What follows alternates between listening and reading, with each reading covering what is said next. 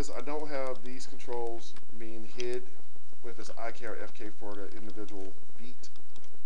So let's do that.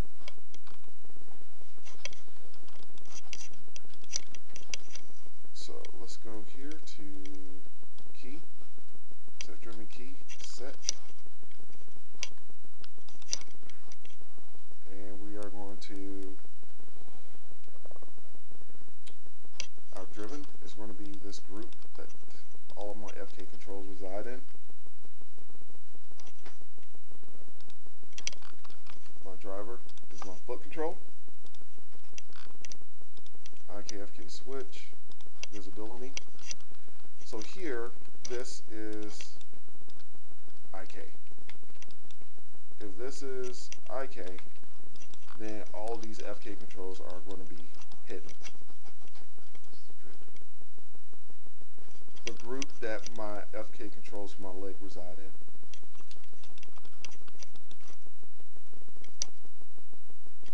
So let's click here, turn that off. Key it.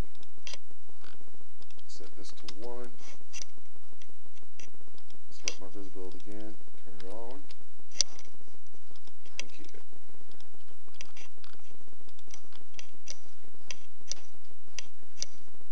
And by it should stay off.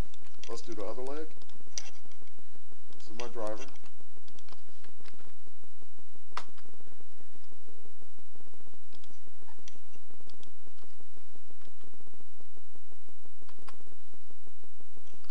Oh, I already did this one. Ah, no. Yeah, I've already did this one. Did this one, I think that's on the videos I did the other day. I just didn't do this leg.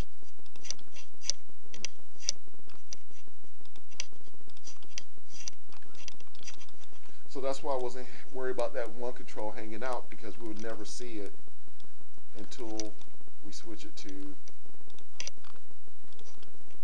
FK and then we'll just manipulate the leg where we want it to go.